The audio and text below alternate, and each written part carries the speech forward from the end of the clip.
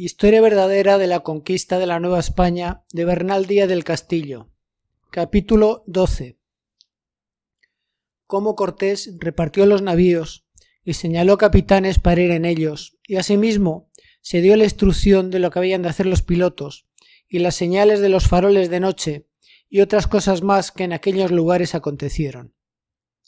Cortés llevaba a la capitana, Pedro de Alvarado y sus hermanos un buen navío que se decía San Sebastián, Alonso Hernández Puerto Carrero otro, Francisco de Montejo otro buen navío, Cristóbal de Oliz otro, Diego de Ordaz otro, Juan Velázquez de León otro, Juan de Escalán otro, Francisco de Morla otro, otro Escobar el Paje y el más chico como Bergantín Ginés Nortes.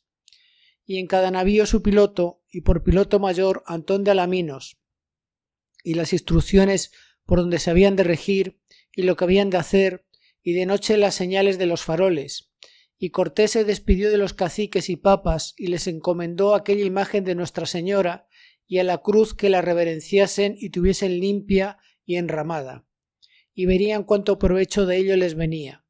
Y dijeron que así lo harían y trajéronle cuatro gallinas y dos jarros de miel y se abrazaron. Y embarcados que fuimos, en ciertos días del mes de marzo de 1519, dimos velas, y con muy buen tiempo íbamos nuestra derrota, y aquel mismo día, a hora de las diez, dan desde una nao grandes voces y capean y tiraron un tiro, para que todos los navíos que veníamos en conserva lo oyesen, y como Cortés lo vio y oyó, se paró luego en el bordo de la capitana y vido ir arribando el navío en que venía Juan de Escalante, que se volvía hacia Cozumel, y dijo Cortés a otras naos que, que allí venían cerca ¿Qué es aquello? ¿Qué es aquello?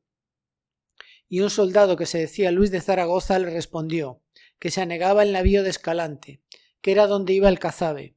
Y Cortés dijo Plega a Dios no tengamos algún desmán, y mandó al piloto Alaminos que hiciese señas a todos los navíos que arribasen a Cozumel ese mismo día volvimos al puerto donde salimos y descargamos el cazabe y hallamos la imagen de Nuestra Señora y la cruz muy limpia y puesto incienso.